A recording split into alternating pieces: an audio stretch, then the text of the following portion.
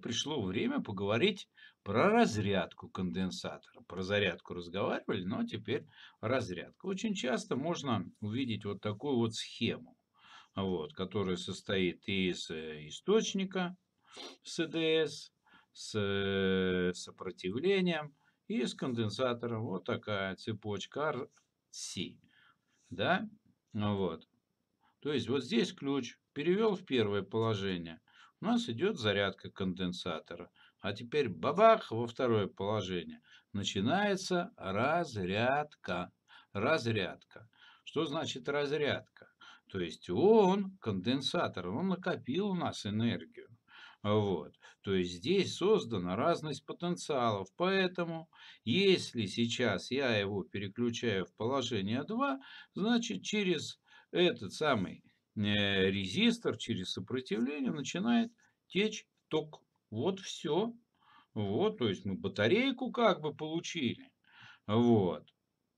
Итак, если я сейчас нарисую ориентировочно эту цепь, да, она вот у нас будет состоять из конденсатора. Вот, а здесь у нас будет сопротивление. Вот так вот. То есть, смотрите, это у нас конденсатор, а это у нас батарейка. Здесь две черточки одинаковые. Вот. Но в данной ситуации конденсатор будет выполнять роль как бы такого источника э, тока. Потому что через сопротивление начинает течь ток. Вот. Поэтому напряжение на сопротивление будет равняться напряжению или разности потенциалов на конденсаторе. Поэтому я могу записать IR, то есть это э, падение напряжения на сопротивление, оно будет равняться напряжению на конденсаторе, которое равняется Q, деленное на C. Или равняется все это U. То есть я сейчас утверждаю, что напряжение, напряжение равняется вот чему. Ну, спрашиваете, почему я Т в скобочках написал? Потому что отсюда заряд будет как бы, э, ну, убегает, да? Как бы машина начинает отсюда разъезжаться. Ну, такое глупое сравнение. Ну, в принципе, можно как бы об этом говорить да, и заряд начинает с течением времени уменьшаться. То есть, ну, итог будет уменьшаться с течением времени. Вот. Почему? Потому что ток, который равен скорости э, протекания заряда, я напишу в данной ситуации со знаком минус. Почему со знаком минус? Да потому что заряд с конденсатора, да, ну, я уже сказал, он начинает уменьшаться. Машины, да, уезжают нафиг отсюда. Вот.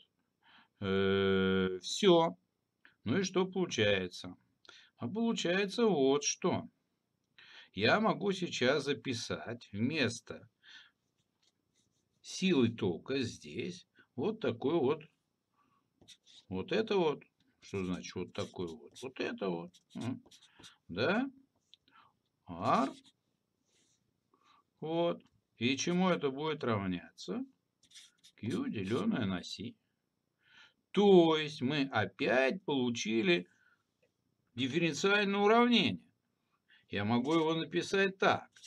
dq на dt равняется, минус перейдет сюда, минус q деленное на rc. Вот так вот. У любого уравнения есть решение. И самое-то интересное заключается в том, что и у этого уравнения, и у этого уравнения решение будет вот каким. Я его запишу здесь. Решение этого уравнения будет вот каким. 0 и минус. А здесь любимое нами отношения. Вот так вот. Но если красиво писать, ну, красиво написано, я напишу еще лучше. Еще лучше.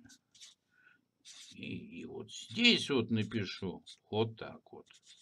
Что было, как говорится, более понятно. Значит, давайте будем смотреть, что же тут происходит. Ну, во-первых, мы знаем, что RC – это время, которое называю временем Тау. Ну, у Тау есть иногда название, его называют э, довольно часто в разного рода источниках. Не источниках только, в книжках э, называют время зарядки конденсатора. Вот. Ну, нам какая разница, как называть. Мы самое должны, главное, понимать, что произведение RC это есть время. Ну, будем называть его тау. Так. Итак, вот такое выражение мы получили. Теперь, что же у нас такое напряжение на конденсаторе? Да? В данной ситуации напряжение на конденсаторе, как всегда, это отношение Q на C. Ну, теперь что делаем? Вместо Q запишем, что имеем. Значит, получается Q нулевое и минус T на тау, деленное на Си. Правильно? А вот теперь-то самый интересный вопрос. Q нулевое. Это у нас что такое? А это весь заряд, который у нас был на конденсаторе в начальный момент времени. Так, вот как я только замкнул ключ, да, вот тут у нас имелся заряд во время замыкания Q нулевое.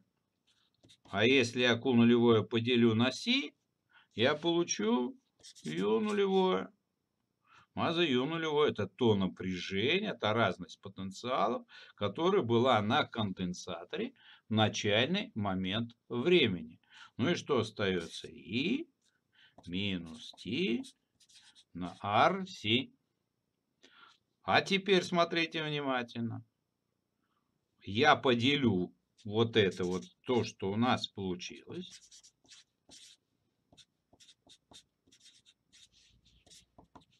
на сопротивление. Могу я так сделать? Конечно, могу. И тогда, согласно закону Ома, закону Ома, я получу, вот закон Ома, да, я получу что? Получу силу тока. Вот сила тока на конденсаторе, да, не на конденсаторе, нехорошо сказал, вот, нехорошо сказал. Значит, сила тока, которая возникнет в цепи, будет равняться U нулевое на А. Э, U, нули, U нулевое, да, или U нулевое, э, деленное на сопротивление. Это будет А нулевое. То есть максимальное значение тока и минус T на RC. Вот. Ну, если, почему начальное? Если я вместо t поставлю 0, я получу просто, что э, сила тока равняется А нулевой. То есть в начальный момент времени ток, который будет э, течь через сопротивление, он у нас будет максимальным. Максимальным. Вот. Я уже сказал, что У нулевое деленное на сопротивление, это у нас вот А нулевое. Да? Так, так, так, так, так. Ай нулевое. Хорошо. То есть, я еще раз напишу. Ай нулевое это у нулевое на R. А что у нас такое? У нулевое, Ю нулевое. Это у нас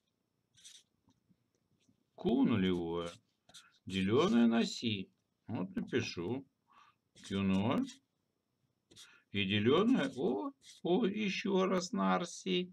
Ну так оно и есть. RC это время. Если я заряд делю на время, я силу тока должен получить. Правильно? То есть, еще раз напоминаю, что я могу это записать вот каким образом. Вот так вот. Теперь рассуждаем дальше.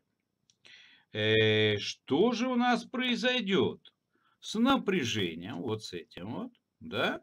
с этим вот напряжением, когда напряжением на конденсаторе, и вот я его еще раз записываю, когда у нас время станет равным RC или тау. Ага, а что ж произойдет? Дать думать. UC, U0 и минус RC, RC. Здесь написали, получили минус 1. Вот. Или U0 деленное на i. Если мы это поделим, если мы это поделим, мы получаем u0 умножить на 0,37. Да? Или 0,37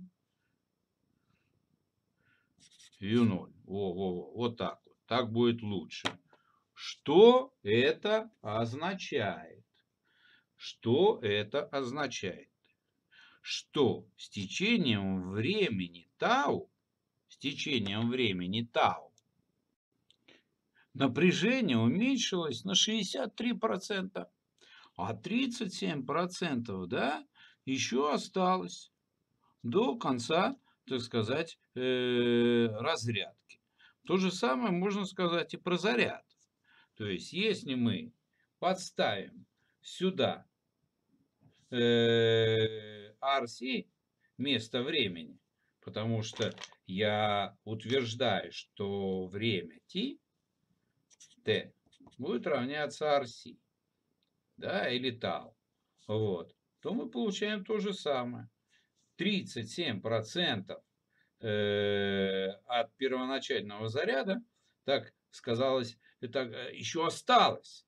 Вот, а 67% уже, ну, э, прош, прошло через э, резистор, через э, сопротивление.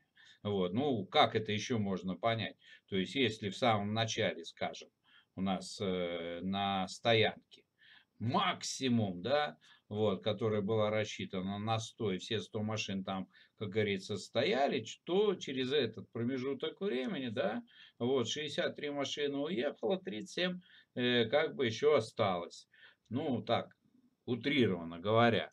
То есть, если я сейчас захочу нарисовать графики, когда у нас время t будет равняться тау или rc, то тогда сила тока, сила тока у нас будет вот какая. Вот. В самом начале, в самом начале сила тока будет максимально 100%. Вот время пошло, пошло, пошло, пошло, пошло, пошло, пошло, пошло. И скажем, вот здесь, вот где-то, когда время будет равняться тау, вот здесь вот у нас останется 0,37 от первоначального тока. Да, то же самое можно рассказать и про заряд. То есть он у нас был максимальный. Вот, вот здесь вот. Это было ко нулевое. Все, поехало, поехало, уменьшается, уменьшается, уменьшается. Стремится, так сказать, к нулю а во время t равное тау или rc, у нас вот здесь вот осталось 0,37 от q нулевого, от q нулевого, да? Вот. То есть 63% бабах ушло. Вот. То же самое и про напряжение можно сказать. Вот. Здесь оно было максимальным. Уменьшается, уменьшается, уменьшается во время времени, во время тау, это будет 0,37 у нулевое. Кстати говоря, интересно вот здесь вот. Смотрите, сила тока это у нас, ну, Q деленное на T. А здесь у нас график. Тут у нас сила тока, а тут у нас время. Ага, это означает, что вот эта вот площадь площадь под графиком. Это есть не что, это как что? как заряд. Вот так вот. Вот это вот у нас заряд. То есть, если мы хотим посчитать заряд, тут нужно сосчитать количество клеточек под этим графиком. Ну, по идее, тут интеграл нужно брать, но это не входит, э, так сказать, в рамки моего объяснения. Вот и все. Вот так вот. Интересно, да? Все. Спасибо вам за внимание. Всего доброго. До свидания. Да, забыл сказать. Забыл сказать. Вот. Если понравилось вам мое объяснение, понравилось э, мое объяснение, вот, то в принципе, да, у меня к вам просьба. Запишитесь на мой канал, который в YouTube называется Эли Гор. Вот. Кстати говоря, я уже сказал, да, что время Тау иногда называется временем зарядки конденсатора. Вот. Ну, не совсем будем говорить так, но в принципе, да, вот, уже э, разрядки или зарядки конденсатора. Ну, через время Тау уже можно сказать, что э, в принципе конденсатор, да, разрядился. Большая часть его разрядилась, 37% осталось. Поэтому, ну, не совсем так. Но к этому, в принципе, можно э, привыкнуть, да, вот. Ну, хорошо. Все. Всего доброго. До свидания.